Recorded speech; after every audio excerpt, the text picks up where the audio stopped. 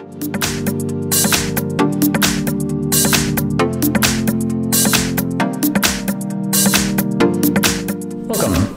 Today I'll show you how to use the IMEI info website to check general information about your device. So we're going to use an Apple as an example uh, for the IMEI and we'll basically check something like a country and warranty status for a device.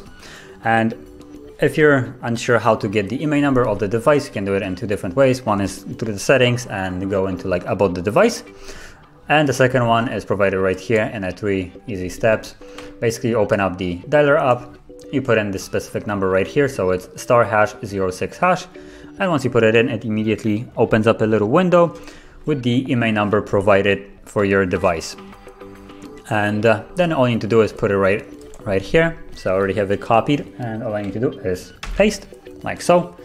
And then I need to check that I'm not a robot and select whatever it's telling me to do. Now, mind you, you might not see this uh, catch, you might just it might just check automatically and it could be like let go easily without actually having to verify anything. But I unfortunately am not. So let's do that. Okay, and now I can just tap and check. And once it actually loads, I should see the general information of the device. So right here, it's an iPhone 8 Apple then on the right side, you get the basic information about it. So design, uh, what it is, where it was, when it was released, what kind of SIM it takes, and a couple other general information about this specific model, which I mean iPhone 8. Um, then you also have other free checks that you can do here. So Apple warranty and basic information, blacklist check, phone number and serial number. And now going more in depth for a couple of them warranty and basic information. Basic information will be again just this and then warranty, so how long the iPhone will have the warranty for.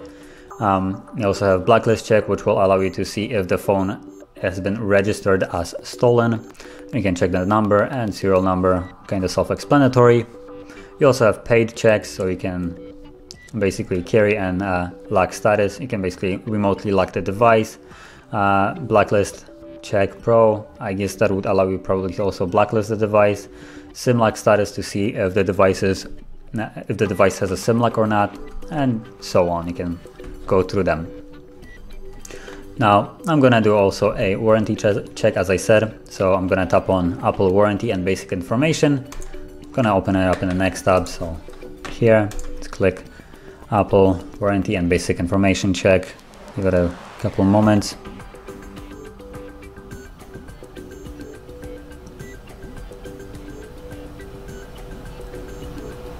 And there we go.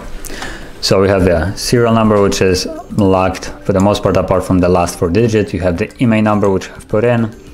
Uh, then the iPhone, which tells you that it's an iPhone 8, 64 gigabytes, and also the color. Refurbished, no. Activated, yes. Activated means basically whenever the device was turned on for the first time and set up. And since that, like if this says no, then warranty of Apple hasn't actually started. If it's yes, then the moment you activate the device warranty will actually start the countdown. Then you have the purchase date, which is empty. Uh, whereas uh, right here, technical support expired date. As you can see, it's expired, so two years have passed. AppleCare eligibility, no, because of the fact that this is this is expired. Um, and yeah, that's basically things that you can check right here.